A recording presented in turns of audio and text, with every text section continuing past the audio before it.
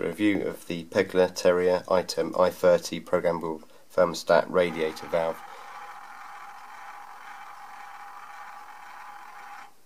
That there is just a noise it makes to um, when it's recalibrating so the motor turns up and down.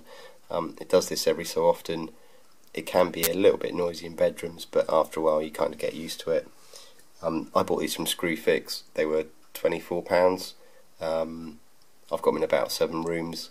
You can get like up to six temperature programs.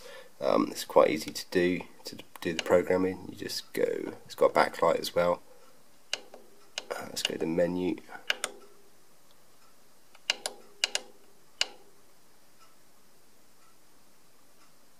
There we go. It's got program. You see the backlight at the top. Okay, that custom day.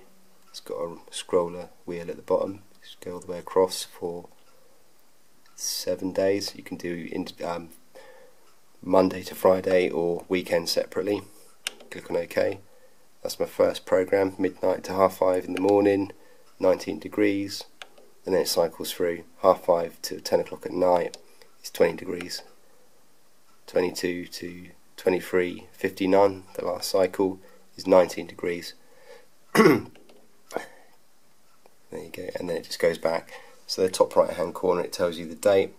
Um, top left hand corner is the time. And this is the temperature that's currently set.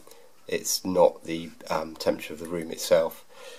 So these were just um, basically before um, Honeywell thermostatic radiator valves probably about 16 years old. Um, just unscrewed the old heads off. And then this just screwed on top five minute job.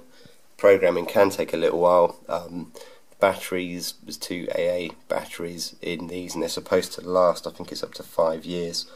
Um, and they quote like a 30% saving in energy. Um, it just allows you to do zoning of your heating system cheaply.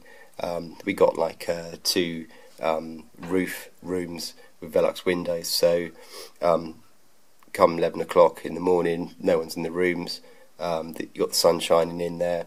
Um, normal thermostatic radiator, radiator valves okay, but if you really want to turn it down, you have to do it manually. You have to fiddle with it. So with these, I've just got the temperature to shut down to um, 17 degrees after 11 o'clock. And basically, it switches radiators off. Um, works really well. Another room we've got in the house, we kind of just switch off the heating at 9 o'clock at night. That will just go off altogether. Comes back on at half six in the morning. First people are in there about half seven in the morning. So yeah, proper zoning. Um, obviously, haven't got one in the um, hallway near to the main programmable um, thermostat for the heating system. You don't have TRVs and um, wall thermostats together. Um, I haven't got one in the kitchen, but yeah, basically all other rooms have got these. And uh, I've had them for about two weeks now, um, working really well.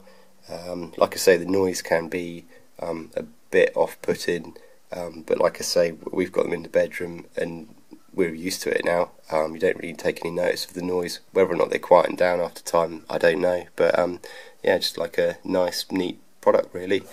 Um, yeah, if you've got any comments or questions, just uh, give me a shout.